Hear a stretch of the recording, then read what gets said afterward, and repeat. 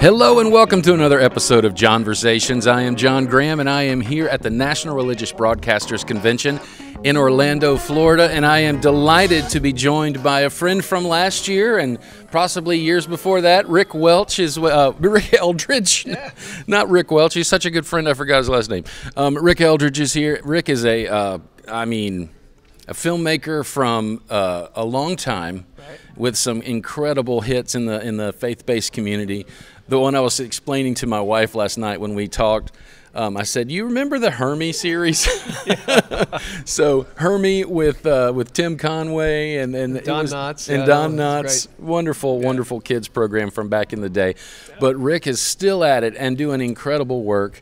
And we are also joined by Brad Minns. Brad is um, known. I get, help me with the title. He's got the greatest comeback in the deaf tennis Olympics, uh, right? That's right. uh, Okay. On a tennis court, he uh, you know he was able to, in the final gold medal round, you know, of the Olympics, he was down two ga- two sets, five games, forty love. So he loses a point, he loses a game. Yeah.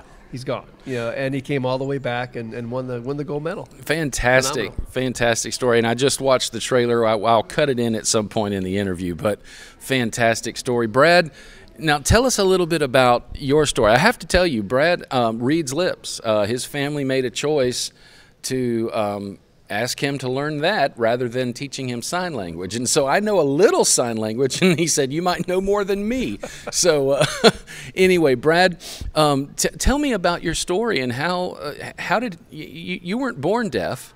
You, uh, Yeah, I lost my hearing when I was three years old, and my parents had to decide whether to put me in hearing schools or deaf schools. They decided to put me in hearing schools because my mother wanted me to speak orally, and um, it was a difficult road. Um, it took a lot of uh, support from my family, and without their love and support, I don't know where I would be. But uh, along the way, my mother got me into tennis. She thought it would help me overcome adversity. It was one of the toughest things I ever had to do. I didn't really enjoy tennis at the beginning, but uh, my family pushed me and supported me, and they encouraged me not to give up on tennis. And I'm glad they didn't because when I was in college, I got a scholarship playing for University of Toledo. And my coach happened to have a newspaper clipping about this big advertising tryouts for the World Games for the Deaf. Now, up until that point, I never met a deaf person. I, I didn't know any deaf people. Um, so I tried out for the World Games. My dad and I went to Gallaudet University in Washington, D.C., and for the first time, we experienced deaf culture. It Wow. was amazing, and uh, we felt kind of left out because of the language barrier. Yeah. We didn't understand sign language. They couldn't read lips or communicate orally, so it, it was a challenge. And uh, Rick does a great job of showing those uh, challenges in the movie. And uh, so it's an inspirational film that will help people understand a little bit better about what it's like being deaf in a hearing world. well, you were not only deaf in a hearing world, you were speaking in, in not really hearing, but reading lips in a deaf world. So you were kind of lost between both worlds. Yeah. Yeah, I mean, I feel like I'm right in the middle. I don't understand the hearing world 100%. It's very difficult. I have to read lips. If someone's back is turned to me, I won't understand what they're saying. And of course, I don't know sign language, so when I'm with deaf people, I have to take a, a notepad and a pen and have the person write down what they're saying. And uh, so that's how I communicate with Wow. the deaf. I took sign language in college, and uh, I was the only deaf person in the class, and uh, everybody else got an A, but I got a D. So I was kind of discouraged uh, with my sign language uh, Yeah. progress. But I, I won't give up. I will keep trying. Wow. Yeah. Well, Yeah. Rick, um, let me ask you this. How did you discover Brad's story? Well, through a mutual friend of ours, uh, I was given his book. You know, Okay. There's a, a great book about his story.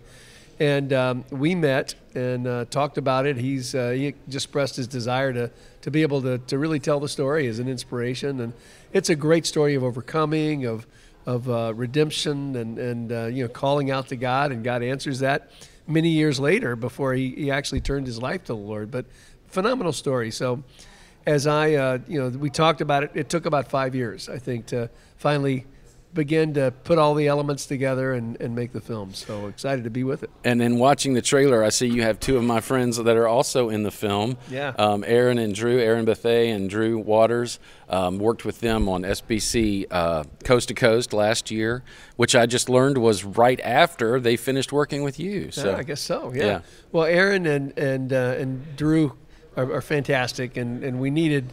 Uh, we wanted to be as authentic with with uh, the story because it goes through periods of history, through his as a three year old and all the way up through the through the tournament. So mom and dad, Yeah. or or Erin and, and Drew, and they did a great job of that, and uh, and I think resembled his family very well, and uh, and it was a great fit. Uh, you know, his his dad was a very gregarious, outgoing, outgoing, you know, kind of you know jokester, and I said, ah, that's true. Yeah, all day. well, it's uh, you know, it's it's awesome when we see a film that elevates a disability.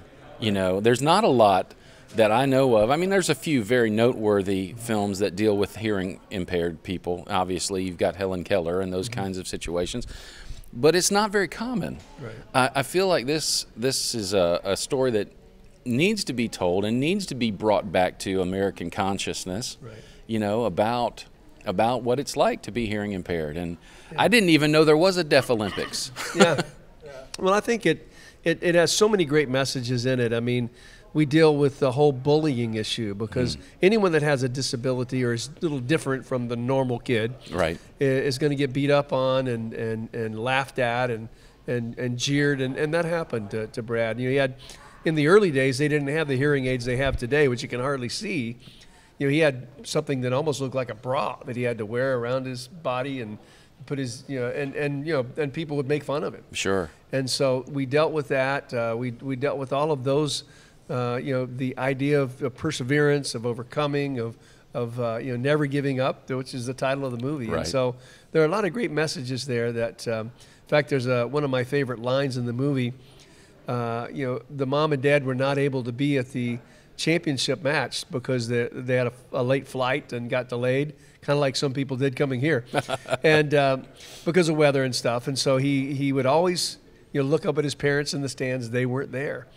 And so in the end, when he's doing some interviews and that kind of thing, uh, he he talks about how you know I, I, I came back, I made it, and his mom says, "Brad, you've been coming back your whole life," and uh, uh, just a phenomenal story of, of of perseverance of how we can all make it, how we can do it, especially with God's help. You know, his cry to God, I think, was that turning point. That's so so awesome. So, Brad, what's it like to see your story on the big screen? It's a blessing. It's a huge blessing.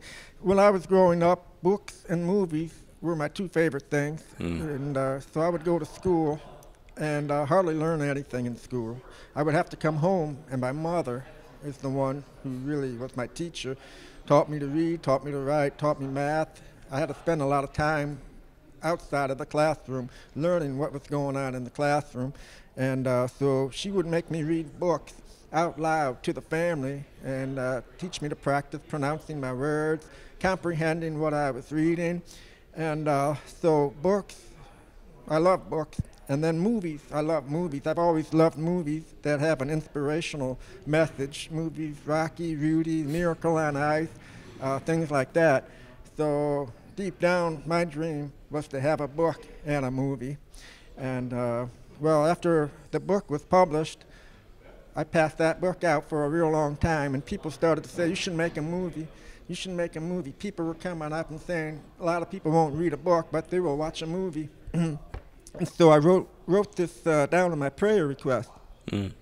Week after week, I would write this down on my prayer request.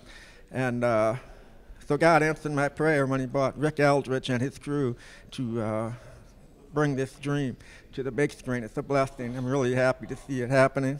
It's awesome. So, um, let me ask you, Rick, when does it come out? September the 1st. September And, uh, 1st. So, uh, yes, Labor Day weekend. Uh, great time to, to, to get out and see the film. Uh, that's also the U.S. Open, which is one of the biggest events that happens in tennis. Everybody will be talking about tennis. Uh, of course, Stan Smith, one of the icons of tennis, is in the movie, and he'll be very active at the uh, U.S. Open, and we're hoping he'll do some mentions on air and let Yeah. people know about it. But uh, that's the weekend, September So 1st. This is uh, you, you've got a history here. You, you the last one you released, yeah. you hit right at the Masters with Pat yeah. Boone, so you kind of know how to how to schedule these things. It sounds like. well, you got to you know hit people when they're thinking about yeah. you know, stuff that, that relates, and, uh, and it worked really well. Yeah. Yeah. Well, um, it's it's such a joy to meet you, Brad. Thank you so much for spending time with us. Um, I did want to ask you this. I, Rick mentioned it. There was a time in your life later when you turned your life to God. Tell me about that a little bit. Yes, and that was the inspiration really behind writing the book. I wanted to get my testimony out there. Now I really had a purpose of writing a book. Um, so, 20 years after I won the gold medal, um, I won a bodybuilding contest. And uh, long story short, um, after I won this bodybuilding contest, I met a Christian man at the gym, and he was telling me I needed to read the Bible and go to church, and uh, I never did that. Um, my mother tried to get me to go to church when I was younger, but I wouldn't hear anything in church. It was just like I would be sitting there. But the Bible says faith comes by hearing, and mm-hmm. hearing by the Word of God. You have to be able to hear God's Word or read it on a shirt.